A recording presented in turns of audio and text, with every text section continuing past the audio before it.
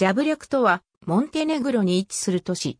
町は、ドゥルミトル山階の中にあり、町の中心部の標高は1456メートルある。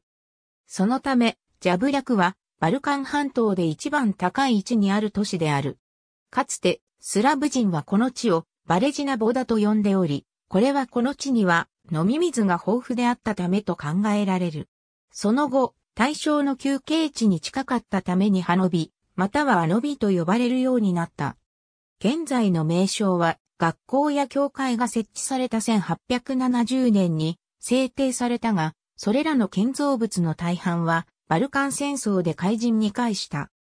1862年に建造された旧正主権境制度が現在でも残っており、モンテネグロ公国がオスマン帝国に勝利した時の記念碑となっている。その後、ジャブリャクは町として成立し、商店や喫茶店も開業した。そして、1880年代半ばには行政の中心地となった。第二次世界大戦直前のジャブリャクは、典型的な山岳地の建築の様相を残した町であった。また、その豊かな自然から、ユーゴスラビア王国各地やイタリアから観光客が訪れるようになった。しかし、第二次世界大戦で町は焼け払われ破壊された。終戦後は、モンテネグロにおけるウィンタースポーツの中心地として再建された。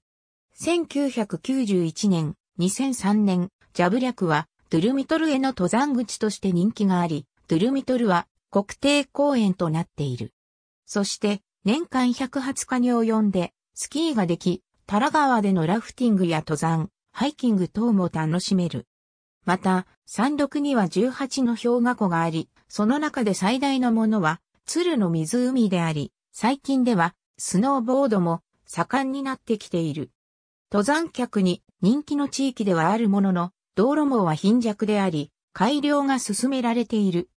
道路としては、欧州自動車道路 E65 号線がモイコバツへ向けて結んでいるほか、シャブニク、ニクシッチ、コトル、ポドゴリッツァとも結ばれている。アドリア海岸方面との連絡は2010年の道路改良に伴い2時間で行けるようになった。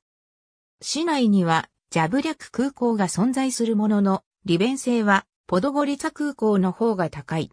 また、肉湿地及びポドゴリツァ業のバスも出ている。ありがとうございます。